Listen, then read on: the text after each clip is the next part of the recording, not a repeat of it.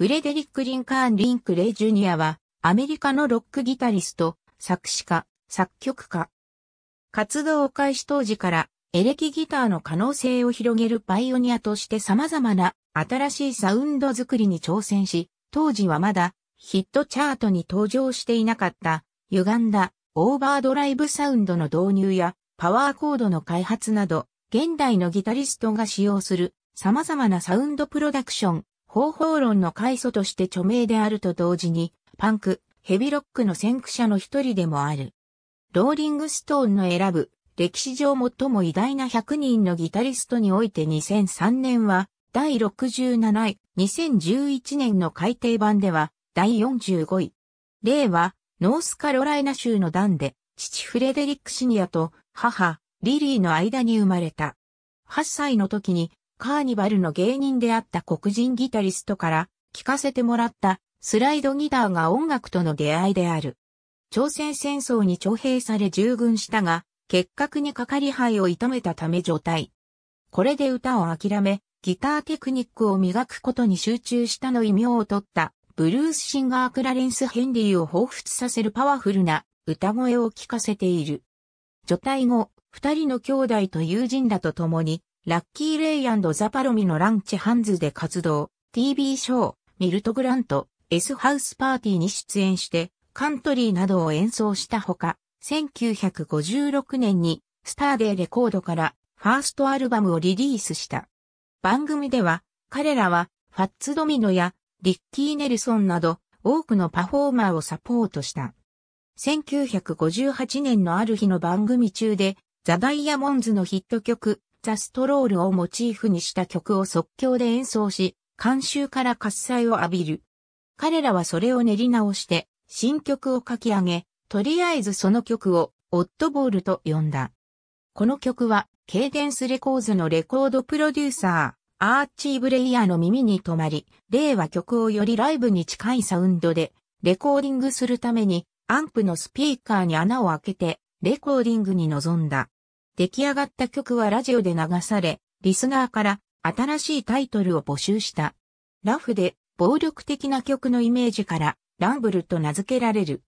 脅迫的なサウンドとタイトルから少年犯罪を助長するという理由で、いくつかのラジオ局で放送禁止処分を受けるという偉業を成し遂げた。しかし、放送禁止にもかかわらず、アメリカのみならず、イギリスでも大ヒットとなった。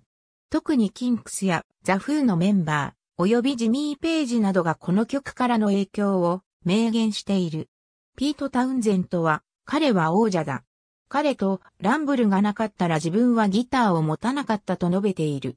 他にも、ジミ、ヘンドリックス、ジェフ・ベック、マーク・ボラン、ニール・ヤング、ボブ・ディラン、ダフ・マッケーガンらが、レイからの影響を認めている。レイとグループは、1950年代後半から1960年代前半にかけて、ローハイド、エース・オブ・スペーズ、ジャック・ザ・リッパーなど、いくつかのハードロックチューンのヒットを放つが、その後、一旦、リタイア状態になる。1970年代後半からヨーロッパを中心に人気が復活。1970年代後半にはロカビリーシンガーのロバート・ゴードンと共に、ロバート・ゴードン・ウィズ・リンク・レイ名義で2枚のアルバムをリリースして本格的に復帰、ツアーも行った。1980年代には新作、リイシュー含めて精力的に作品をリリース。当時のバンドメンバーの中には、モドキスのエース・フレイリーとプレイし、後にレートショーウィズ、デイビッド・レターマンの CBS オーケストラに加入するドラマー、アントン・フィグもいた。1997年、アルバム、シャドマンを発表。